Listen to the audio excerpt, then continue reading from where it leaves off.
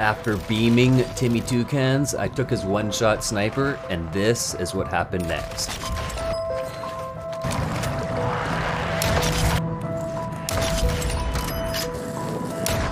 What?